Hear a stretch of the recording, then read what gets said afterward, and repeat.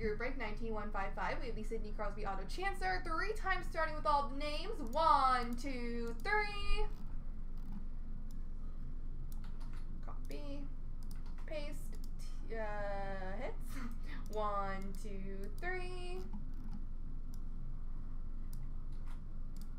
All right, let's see what we got here. The Eichel is going to Nathan 13. Charles has the Johnson out of 65. The Miller Artifacts goes to Ryan. The Sidney Crosby patch auto out of 15 goes to Ryan. Congrats. And the McDavid out of 149 to Bobby Skate. There we go.